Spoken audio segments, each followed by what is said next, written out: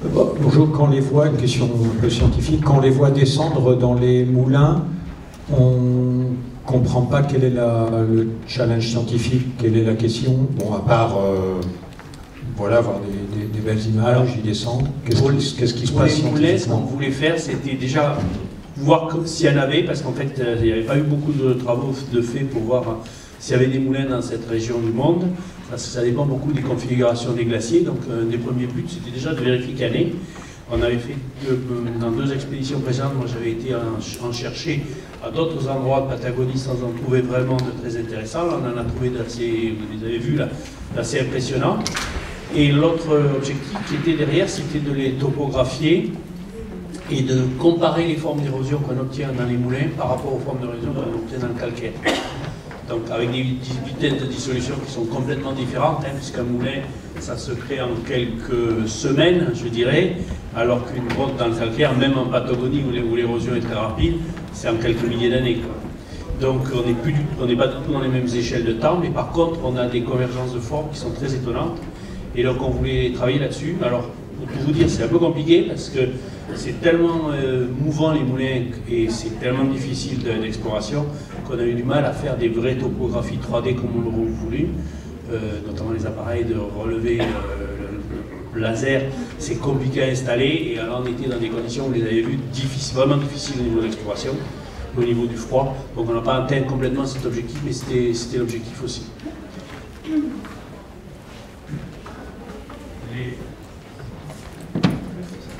Les deux Kawascar qu'on a vus, là, qui, ont accompagné l'expédition, ils sont, ils sont devenus quoi aujourd'hui? Ah ben, ils vivent toujours. Euh, C'était il y a combien d'années Le film c'était en 2023. Donc même Gabriella, la maman qu'on a vue un moment dans le film, la toute petite dame, que je connais moi depuis l'an 2000 en fait, hein, je l'avais rencontrée la première fois à l'époque, euh, c'est la maman de Maria Isabelle, et ils sont tous les trois en vie. Donc euh, Gabriella, elle est très fatiguée, elle est dans une maison de repos, on peut dire, à, Puerto Natales, et sa fille est toujours à Puerto Eden, ainsi que Pancho. Pancho n'a pas beaucoup de parce que c'est compliqué par un, espagnol que je ne comprends pas, qui est matinée de Kaweshkar, que j'ai du mal. Euh, c'est plus facile avec Maria Isabelle. Maria Isabelle, elle a même un compte Instagram, donc si vous voulez la suivre sur, euh, sur Instagram, vous tapez Maria Isabelle Tonko, vous verrez les pâtisseries qu'elle fait à, à Puerto Eden et les photos qu'elle fait, de belles photos aussi des paysages de Patagon. On voit des archives où les femmes euh, pêchent nues. Oui, c'est euh, exact. Et la température là-bas, c'est... Alors, l'eau en général est autour de 6-7 degrés. Et elles pêchaient dans ces conditions-là. Alors, elles avaient inventé une technique qui est assez marrante. Elles, allumaient, ils allumaient des feux en rond sur une plage. Elles se mettaient au milieu pour faire une sorte de petit sauna assez ouvert. Hein. Et quand elles avaient bien chaud, elles plongeaient, euh, mais parfois elles plongeaient longtemps, hein, ce que je sais, elles plongeaient une heure ou deux, hein, et elles sortaient euh, presque à l'hypothermie, et elles se remettaient au milieu du feu pour se réchauffer. Mais la vie était très très rude, c'est sûr.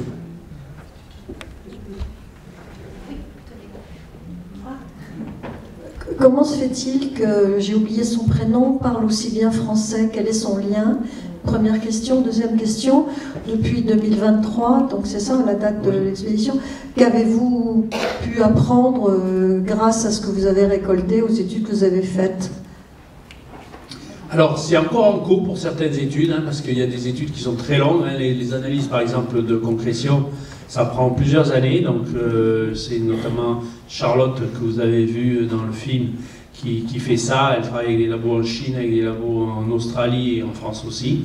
Euh, elle n'a pas encore tous les résultats euh, au niveau des analyses euh, sur, les concrétions.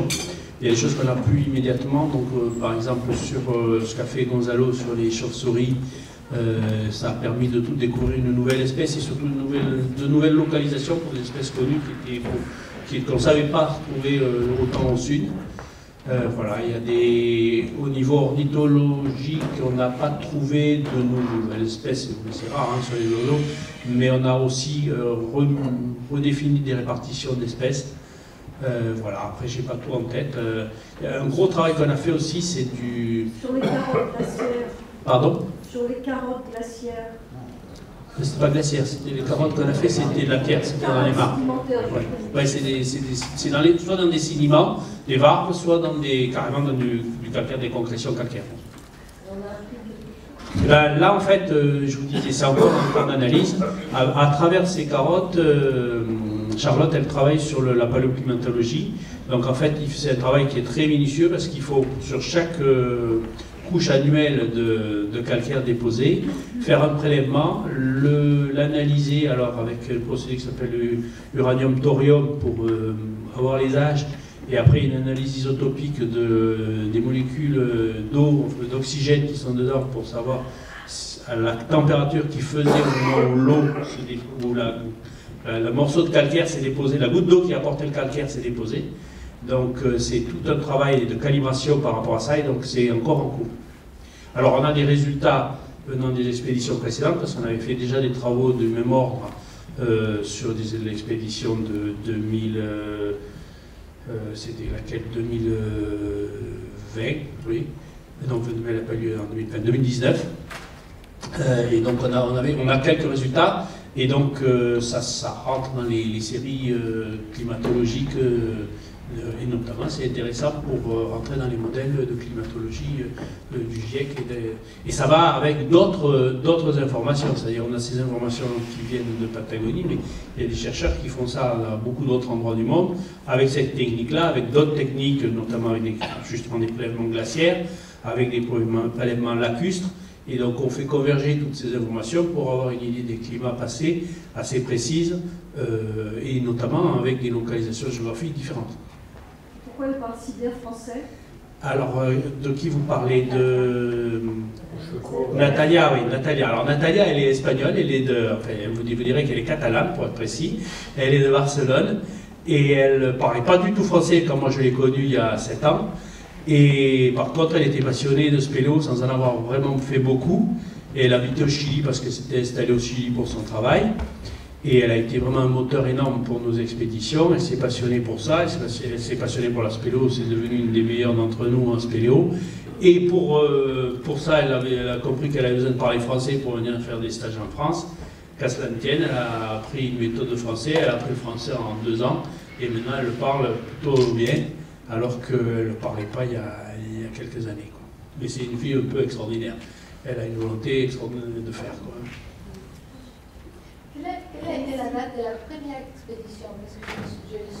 Alors la première, c'était un tout petit comité, ils étaient partis à trois, c'était en 95. Et moi j'y suis allé deux ans après, en 97, on était 10. Donc on avait pris un seul petit bateau. Là j'ai fait la première plongée qui n'a jamais été faite en, Patagonie du Sud, là, comme ça. Et après on est revenu et chaque fois on était plus nombreux. Donc là on était euh, 43 et si on compte les caméramans, on était 50 en fait. J'ai une question derrière. Euh, du coup, comment s'organise, comment se crée et s'organise une telle expédition avec 43 euh, scientifiques? Eh bien, alors il n'y a pas 43 scientifiques. hein. Il y, a, il y a des spéléos qui ne sont pas comme moi, qui ne sont pas scientifiques. euh, donc, mais on, on- justement, on a plein de compétences et c'est ça qui est très sympa. C'est que dans l'équipe, il y a des gens qui sont euh, menuisiers, charpentiers et spéléos souvent aussi, et qui sont très utiles parce que faire une cabane dans ces conditions météo en quelques jours, euh, c'est pas les scientifiques forcément qui vont être les plus aptes à faire ça. Donc on est tous très complémentaires, on est content d'être tous avec plusieurs casquettes et d'apporter chacun des choses différentes. Et en fait, ben, ça s'est fait petit à petit, donc c'est une association en 1901. Euh, on est d'un peu partout en France, et vous avez vu pas qu'en France, hein. il y a des gens qui venaient du Canada, des gens qui venaient de- d'Espagne, d'Autriche, et euh, on, s'est coopté, en fait, on se connaît tous, on sait qu'on est tous, la plupart, des spéléos et des bons spéléos. Euh, pas tous les scientifiques, parce que certains on les invite justement pour leur rapport scientifique en sachant qu'ils ne sont pas forcément euh, très aptes à faire de la spéléo.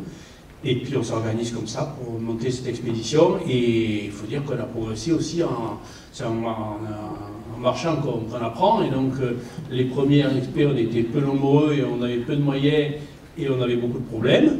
Et maintenant on a encore beaucoup de problèmes, mais on a plus de moyens, donc on, a- on arrive à les résoudre pour euh, plus nombreux. Est-ce que vous voulez bien m'approcher votre micro Ah, pardon. Bonjour, s'il vous plaît, à propos de spéléologie, on vous suivait dans les galeries là, et on ne voyait pas euh, vraiment l'érosion hydraulique euh, sur la roche. On voyait au contraire des graviers par terre, etc. On peut se demander euh, s'ils sont encore actifs, ces, galeries. là. Alors, c'est toujours comme ça en spéléo, c'est que l'eau, elle, elle, elle, em- elle emmène de la matière, mais elle en apporte aussi. Donc, on a, on a toujours un mélange de dépôts, de... Alors, parfois, c'est... euh, il y a des tas d'épisodes, on, ça creuse, puis ça dépose, puis ça recreuse dans ce qui a été déposé. C'est comme ça qu'on a des structures très compliquées dans les galeries, souvent, avec des planchers stalagmitites en milieu de, en milieu de galerie qui ont été recreusés, des, dépôts d'argile sur les côtés qui- qui font des parois parce qu'ils ont été recoupés par un courant. C'est, ça a une vie compliquée, une grotte. Ça se creuse, ça se bouche, ça se réouvre, ça crée des niveaux dessous. euh, et donc c'est souvent très compliqué d'ailleurs d'analyser l'histoire d'une grotte. Quelqu'un veut le micro? Ah, j'arrive. Alors, les- là, les grottes, elles sont relativement récentes les- en Patagonie. Euh, c'est des grottes qui ont normalement moins de 25 000 ans, puisqu'avant, il y avait les glaciers qui s'étaient pas, c'était bouché par les glaciers. Même si on en a trouvé une ou deux, où on a des traces à peu près certaines de creusement karstologique avant les glaciers. C'est-à-dire que euh, la dernière glaciation, glaciation, elle a duré quelques milliers d'années, mais avant, il y avait, une période où, il y a- où le, terrain était dégagé. Il y a eu des grottes qui se sont créées. Beaucoup étaient détruites, évidemment, par les glaciers qui ont tout raboté. Mais il y a des endroits où ça s'est conservé et où on a pu trouver des grottes qui sont en, sont en deuxième salle après la glaciation. C'est ici. Oui, euh, j'ai bien compris la datation des, des inscriptions sur les, dans les cavernes. Euh, il était question de l'eau qui avait euh, qui était à 3 mètres. Alors oui, la, la grotte où, où il y a les peintures, c'est une des grottes où il y a des peintures, mais c'est celle où on a trouvé les plus belles peintures. Celle-là, on sait qu'elle était noyée. Alors ce qui s'est passé, c'est que quand la glaciation s'est terminée, les glaciers ont fondu. La mer est montée, est montée plus haut qu'elle n'est aujourd'hui, parce qu'en fait, il y a un phénomène, ce qu'on appelle le rebond isostatique, c'est-à-dire que les glaciers avaient comprimé la roche, euh, et elle est restée un peu comprimée, le niveau d'eau a monté, donc le, niveau était assez haut. Puis après, la roche s'est lentement décomprimée, c'est de la roche, hein, c'est élastique, mais qui qui est pas très euh, rapide. Et donc, en quelques milliers d'années, l'eau est remontée, et donc ce- cette grotte qui à un moment avait été noyée est redevenue euh, à, à l'air libre. Et c'est pour ça qu'on sait que les peintures sont pas très anciennes. On a trouvé des choses plus anciennes dans d'autres endroits. On avait trouvé en, c'était l'expédition de 80, euh, non de 2000. On avait trouvé euh, un squelette quasiment entier, donc on est maintenant sûr d'être euh, Kaweshkar, qui a 3500 ans, donc qui est plus ancien que ça. Et c'est une grotte qui est plus, euh, plus haute dans, dans- dans une petite falaise. Oui, quand on pose la question à la dame, elle dit il reste plus que trois Kawaska. Et ensuite, à la fin du film, on voit des enfants, donc il y a une nouvelle génération qui arrive, de nouvelles générations. Alors, Non. elle dit trois Kawashkar qui sont vraiment de sang pur et qui, sont, et qui parlent la langue. En fait, oui, il y a, il y a des descendants de Kawashkar, puisque les Kawashkar, ils se sont mariés avec des, avec des Espagnols, avec des, des Chiliens, euh, qui venaient d'ailleurs, euh, et, et avec d'autres Indiens, parce qu'il y avait, c'était très compliqué à l'époque, euh, avant la conquête Il y avait beaucoup de, peuples différents qui cohabitaient dans, cette zone. Il y avait les Kawashkar qui étaient dans, le, dans les canaux, qui étaient essentiellement nomades en bateau. Mais il y avait aussi les Yagans, qui étaient un autre peuple, qui était plutôt un peuple de, chasseurs terrestres, qui vivaient un peu plus, euh, vers euh, l'Argentine, mais encore côté chilien. Euh, donc il y avait, d'autres peuples. Et donc ces gens-là, avec la conquête espagnole, tout a été re- rebeloté. Il y a eu énormément de perturbations, il y a énormément de morts, évidemment, euh, par les épidémies, par les massacres, etc. Mais il y a eu un métissage aussi, et donc il y a, beaucoup de descendants de Kawashkar hein, dans le sud du, Chili. Mais des Kawashkar authentiques, entre guillemets, si on peut dire, euh, il y en a effectivement plus que trois. Une autre question?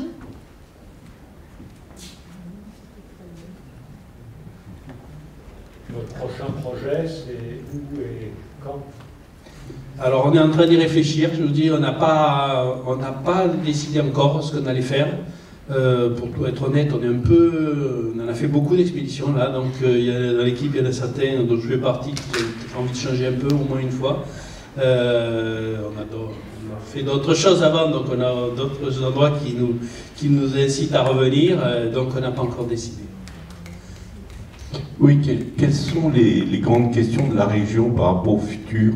Comment les, habitants, comme c'est un lieu très particulier, très reculé, comment eux, les habitants, voient leur futur et quelles sont les problématiques de cette région et est-ce qu'ils sont touchés aussi par les grandes questions planétaires ou comment eux, de leur point de vue, le, perçoivent-ils?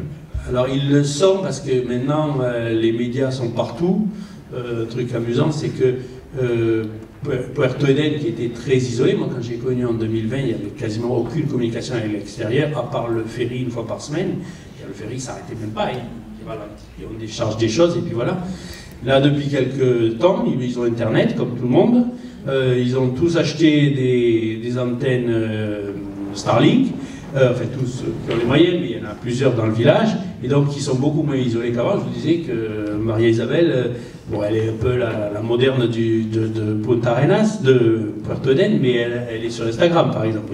Donc, ils ont une vision du monde beaucoup plus, beaucoup plus précise que ce qu'ils pouvaient avoir il y a ne serait-ce que 30 ans. Et par contre, ils se sentent aussi un peu dans leur petit nid, alors un climat horrible, des choses difficiles, euh, peu de moyens économiques, mais aussi un endroit protégé, un peu comme chez nous. Euh, les gens qui habitent à la montagne, ils ne se sentent pas dans le même monde exactement que ceux qui habitent euh, à Marseille. vous, vous, faites 200 km pour aller dans les Alpes, déjà c'est plus le même monde. Et c'est pareil au Chili, avec le fait que c'est un très grand pays, avec des zones très peu peuplées, donc ça change encore un peu la chose.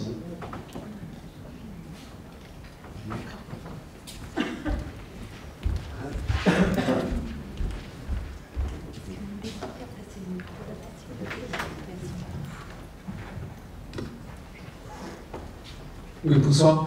Euh, déjà, je voudrais vous féliciter, sur la réalisation, hein, les vues en drone, etc. Elles sont magnifiques.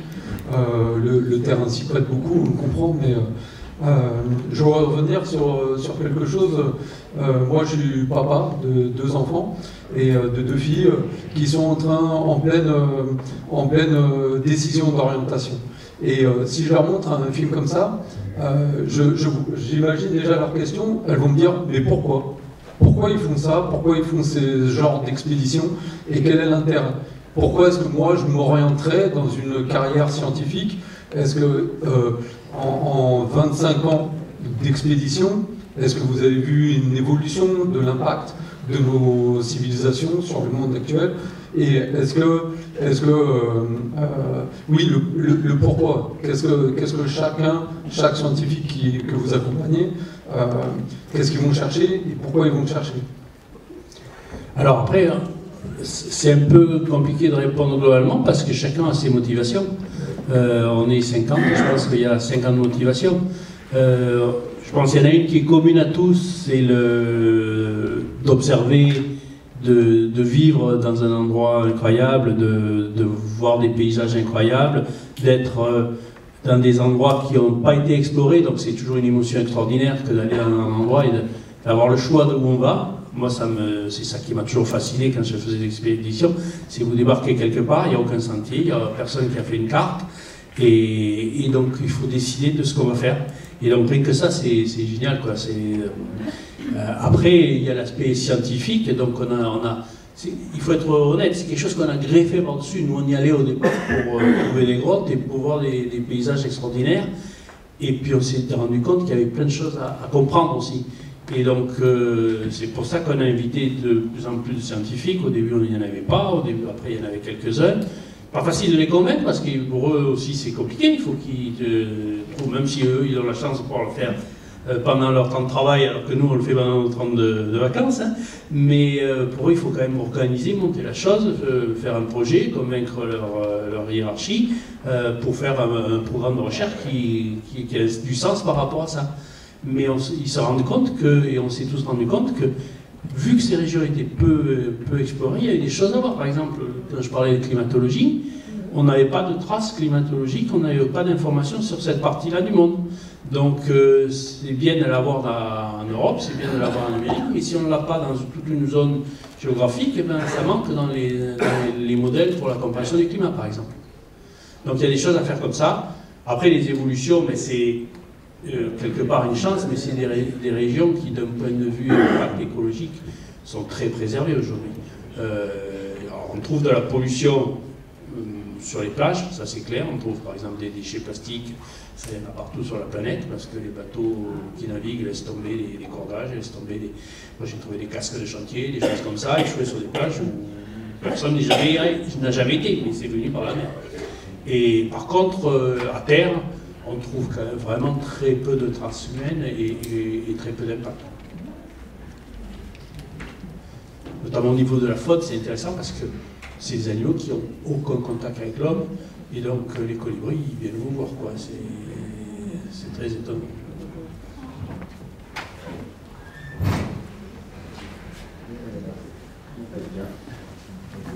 Est-ce que vous avez encore des questions? Ah, dans le fond, j'y retourne. Merci.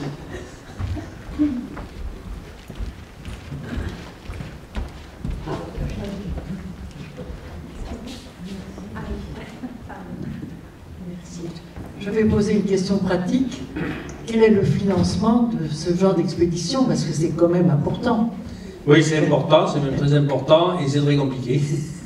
Euh, voilà, donc en fait, on, a des sponsors, euh, on a quelques partenaires qui nous suivent depuis le début, d'autres qui sont venus ponctuellement. Euh, on met beaucoup d'argent personnellement chacun de notre poche.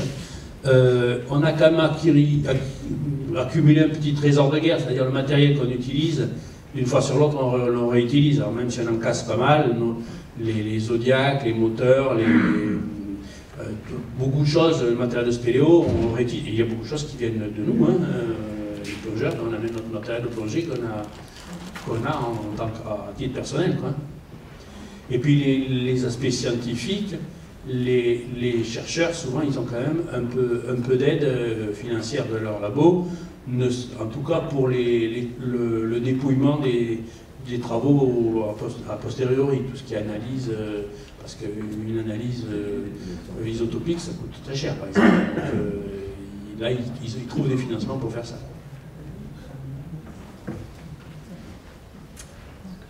Je crois qu'il n'y a plus de questions. Je vais vous laisser le mot de la fin.